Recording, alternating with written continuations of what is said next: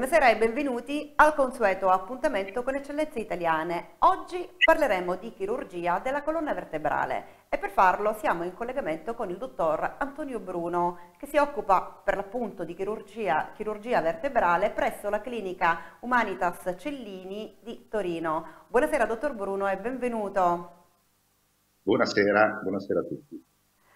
Dottore, quindi siete in tanti ad occuparvi di chirurgia della colonna vertebrale, però a quanto pare non tutti hanno raggiunto una competenza ta tale da poter trattare i casi più complessi eh, per quanto riguarda le patologie gravi del rachide. Così, dottore?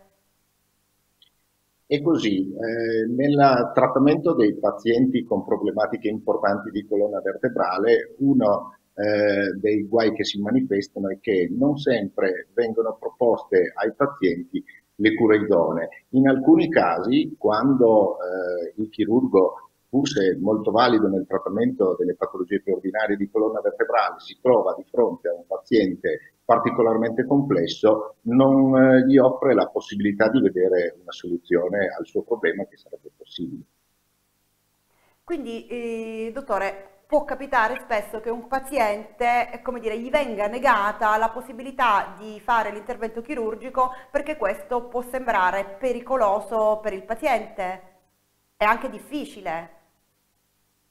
Esatto, e in effetti in alcuni casi si tratta di chirurgia eh, che presenta un profilo di rischi che è un po' superiore alla media. Si tratta pur sempre di rischi controllati, ma superiori a quelli che eh, di solito sono presenti. Eh, a fronte di patologie particolarmente complesse e particolarmente invalidanti, a mio avviso eh, è giusto offrire al paziente una soluzione, spiegargli onestamente e chiaramente quali sono eh, le possibilità di risultato e quali sono i rischi a cui va incontro e lasciare a lui la facoltà di scelta.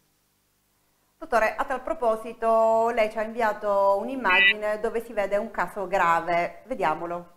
Nell'immagine più a destra voi vedete una persona anziana che presenta un profilo di rischio dal punto di vista globale di un possibile intervento, rischio anestesiologico, eh, che è in condizioni obiettivamente francamente drammatiche, perché una postura di questo tipo per una deformità eh, rigida della colonna vertebrale genera del dolore veramente molto importante ed invalidante. Questa situazione è curabile, è trattabile al prezzo di chirurgia eh, sulla colonna vertebrale importante, Importante perché il peso dell'intervento non è lieve, perché come vedete nelle immagini i debiti posizionati sono tante, l'incisione non è piccola, non si tratta di chirurgia invasiva, presenta un certo profilo di rischi, sono interventi che durano tanto e che presentano però un decorso post-operatorio molto meno pesante di quello che si immagina, perché una persona operata eh, per un problema di questo tipo si alza in piedi in seconda giornata post-operatoria, con una degenza di 5-6 giorni in clinica. Eh, il risultato, come vedete, è eclatante. Il cambiamento della postura di questa persona le regala una qualità di vita negli anni a venire drammaticamente differente eh, dalla sua condizione di partenza. Eh sì, decisamente, dottore. Abbiamo visto la, la, signora che stava completamente piegata in avanti, invece nell'altra immagine, dopo l'intervento, completamente dritta. Quindi dipende molto dalla competenza del, del chirurgo riuscire ad intervenire in casi come questi? In questo caso dipende molto dalla competenza del chirurgo, sia per la scelta eh, della tecnica più opportuna da utilizzare. E qui è importante che il chirurgo padroneggi tutte le tecniche possibili sulla colonna vertebrale. Oggi si parla molto di tecniche invasive, di accessi alla colonna vertebrale per via anteriore, passando attraverso l'addome, eh, attraverso il fianco. Bisogna padroneggiarle tutte per poter permettersi di scegliere la migliore che si attaglia al caso specifico del paziente.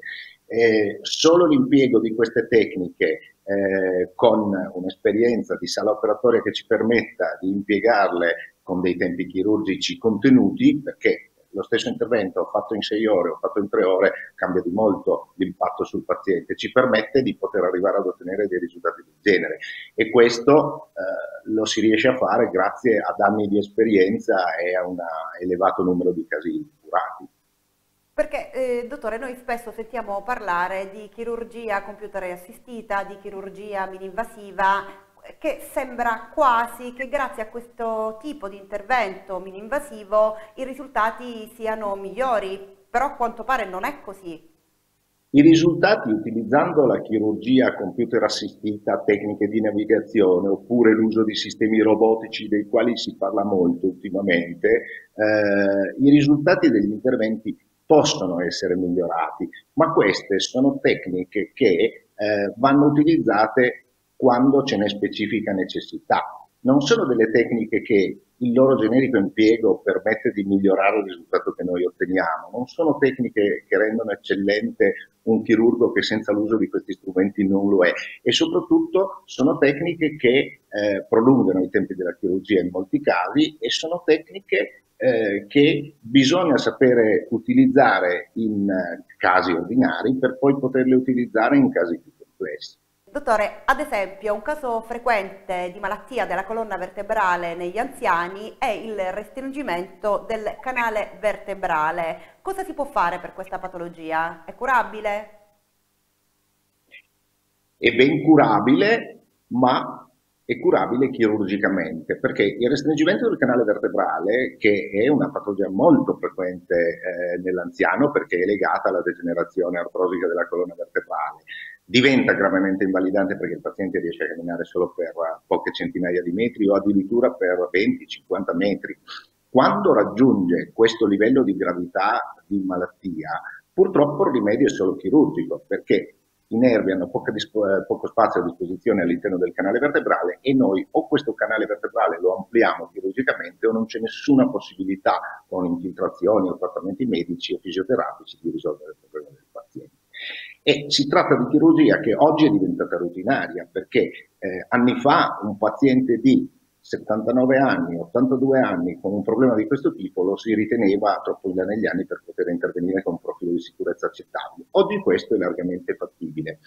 Il dettaglio importante nella scelta di che cosa bisogna fare per dare una soluzione chirurgica a questi pazienti è scegliere bene che tipo di intervento facciamo, perché eh, nella eh, maggior parte dei casi vengono proposti degli interventi mini-invasivi o eh, in microchirurgia dove si allarga semplicemente il canale vertebrale. Ma siccome il problema retrostante è il movimento anomalo tra le vertebre, se noi non lo stabilizziamo, quello spazio non lo blocchiamo, non ne blocchiamo il movimento inserendo delle viti nella colonna vertebrale, cosa che in mani esperte porta via poco tempo in più, eh, ma permette di ottenere un risultato molto migliore e duraturo nel tempo, senza possibilità di recidiva e senza possibilità di dover reintervenire successivamente, cosa che in una persona di questa età è assolutamente da evitare. Come si può vedere in questa immagine, sembra apparentemente che ci sia un restringimento eh, su due spazi eh, del canale vertebrale, lo si vede dove la parte bianca in mezzo all'immagine eh, ha due sporgenze nere che vengono dalla parte di sinistra della colonna vertebrale,